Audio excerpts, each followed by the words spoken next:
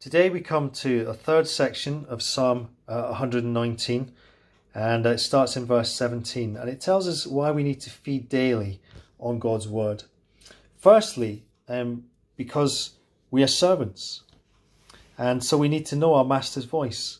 Verse 17 Be good to your servant while I live, that I may obey your word. Perhaps you remember Eli teaching young Samuel uh, to speak, Lord, for your servant is listening. And uh, we need God's word every day because we need to know our Master's voice. Secondly, because we are students, uh, this is our manual for living. Verse 18 Open my eyes that I may see wonderful things in your law. We need God to open our eyes. Otherwise, the treasures within remain hidden to us.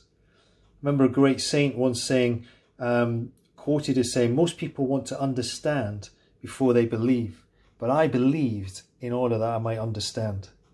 So God's word is wonderful, his works are wonderful, his love is wonderful. Come to his word as an eager student. Thirdly, we need his word because we are strangers in this world. Verse 19 I am a stranger on earth. Do not hide your commands from me. As followers of Jesus, we find ourselves as strangers in a world that disregards God. We find ourselves trying to swim against the tide of the world's ways, morality issues, justice issues, loving people unconditionally, forgiving people, blessing an enemy. And so we need God's guidance as we walk a difficult path and a narrow path. And fourthly, because we come as sufferers, we serve a different master. We obey the law of Christ and we have our citizenship in heaven. And so we no longer conform to the world, and uh, the world opposes and persecutes as a result. And so, fourthly, we find ourselves as sufferers as we identify with Jesus.